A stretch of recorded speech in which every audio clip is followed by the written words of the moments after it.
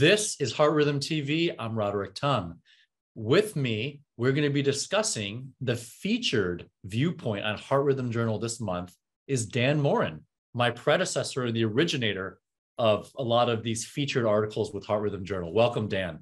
Thank you very much, Rod. It's a pleasure to be here. I'm sure it's fun for you to be on the other side of the microphone here, getting we'll about about new data, new research. And the CMS cuts were such a big, big deal for all of us. It is our daily bread, it's our lifeline. And obviously, we did have some dramatic cuts, not as bad as they were before. But what's really relevant with this viewpoint is this is the follow up survey of the impact of the CMS cuts on catheter ablation. Take it away, Dan. What did you what did you look for, and what did you find? Yeah, th- well, thank you for uh, you know inviting uh, me here today. I'm representing a, a, a, committee, sort of an ad hoc committee of people who are interested in in health policy and especially in this issue uh, from you know throughout HRS, uh, including some staff of HRS as well, uh, who were uh, instrumental, of course, at putting this together. And we were concerned, of course, because remember back in back in January of 2022, CMS imposed those terrible cuts that were very dramatic and very sudden, uh, amounting to about 25 to 30 percent uh, of a reduction in reimbursement for uh, a lot of our ablation care that we provide to patients. Um, so way back when, you mentioned already that this was uh, this follow-up survey. We performed around the time of uh, the 2022 heart rhythm meeting uh, our first survey, and that was conducted via emails and QR codes that we presented uh, at uh, at HRS, and we wanted to um, assess uh, physicians' perceptions of the effects of those cuts that maybe hadn't taken effect yet, but were going to. We got about uh, 517 respondents at that time, and and the overall prediction from the responses at that time was that the reimbursement reductions were, as I said, draconian and, and all of a sudden and were um, sort of hitting people uh, in a big surprise, interestingly, uh, that it was going to have immediate effects on practices that were going to require cuts in purchases and hiring, and that there was going to be long-term effects on access to care for patients and also on the training of our of our fellows who are coming up behind us. And that was published in September 2022 issue of the Heart Rhythm Journal. Um, we had planned, even with that first one, to perform a follow-up study. Uh, during that time, during the six months uh, in between uh, in between our first study and our second, CMS proposed additional cuts of six to 20% more that were to take effect in January 2023, and they in fact have. We performed the second survey around six months after the first one. So this is October 2022. And we wanted to understand whether practicing EPs knew about the new cuts, which were even worse than the, uh, you know, on top of the first ones, what effects those cuts had already had, and what effects were expected going forward.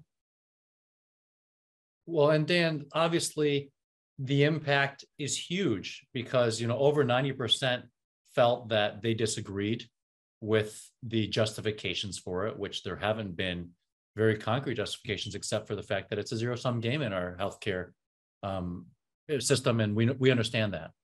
But with regards to changing practices, you were able to find that almost 50% of electrophysiologists felt like they were not going to be doing as much electrophysiology and cutting down on nurse staffing as well. But I think what was really amazing about this was that 76% reported that they're going to do less complex ablation. Yeah, and that is, uh, of course, going to have uh, enormous effects as well on our trainees who need to see those complex ablations. Uh, and then ultimately down the line, it's going to affect the uh, ability of patients, maybe out in uh, rural communities or uh, and whatnot, to access ablation care uh, that is so very important to them. Uh, because if we don't train trainees to perform those procedures, then there just simply will not be people who know how to do it, uh, you know, in the future. Well, and that's why I believe that this is an existential threat to the whole field of electrophysiology because you don't train up the new ones that are coming in. And then the people that are practicing are being disincentivized because we do understand that while everything in cardiology is important, the ability to read three or four echocardiograms should not probably trump or supersede, you know, the ability to perform one atrial fibrillation ablation. They're all important. But I think that we're quickly seeing that a lot of cardiologists, including myself, are almost incentivized to do general consultative cardiology over performing these complex procedures. And again, that's a loss for in terms of health equity and being able to be able to have access to something that has been shown to have meaningful improvements in quality of life and reduce mm-hmm. hospitalizations and potentially improve mortality. And that's always been my viewpoint is the data has never been stronger in the whole field over so many decades since catheter ablation became mainstream in the 1990s. It's never been stronger that the application of it actually has societal benefits that likely reduces overall costs. I agree with you, and and so did all of the 585 respondents to this second survey. There was uh, no, over 95% of them agreed with the idea that the cuts were inappropriately severe and they didn't account for complexity, skill, and risk involved with the procedures. And they were concerned that uh, there was that uh, as a result of the pressures that were being put on by those, that they might even have to change their payer mix, including 44% of respondents who said that they may not be able to accept Medicare patients in the future. And this is the very people that CMS uh, serves. Exactly. And, and I think all, all most physicians, if not all, went into this field and this profession because they believe in healthcare for all. And, and again, when you start having to pick and choose, then that's the definition or the antithesis of a lack of health equality or health equity. Right. So you're mentioning why people, you know, go into uh, electrophysiology, and and there may be fewer. Uh, at least our respondents think that there may be fewer people who wind up going into electrophysiology uh, as the field may become less attractive. If you have to do more general cardiology, if that's uh, what you if you what you really want to do is electrophysiology, uh, and also if the reimbursements uh, are lower. In addition, on the other end, a lot of respondents said that this was changing their retirement plans. So we're thinking about people who have been doing EP for decades, maybe some of them, and they're super valuable because of their experience and their ability to teach and whatnot. And maybe as a result of these changes, uh, maybe you know some of them are thinking about retiring earlier or going into a different field uh, altogether. Maybe something that's uh, non-clinical. Well, this is a longitudinal fight. It's a longitudinal fight for preservation of, of a field that we're deeply are passionate about and we understand the impact society. We have to message it better to legislative authorities and have them understand what we do. I think that's what we've learned partly in those discussions as we engage um, offices of Congress. And we need to continue this. And I know that Rhythm Society and you continue to push that. Where do we move forward and how do we move forward with this longitudinal battle.